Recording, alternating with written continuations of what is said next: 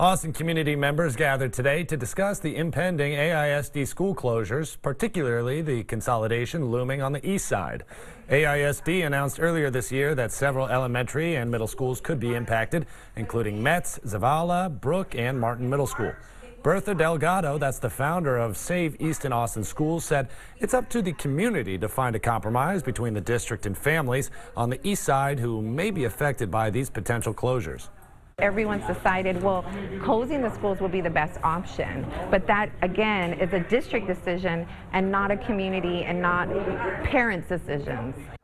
Delgado recognized that many of these schools are not meeting the state standards required, but hopes she can spark a discussion and gather enough petition signatures to allow AISD to rethink the direction it's heading.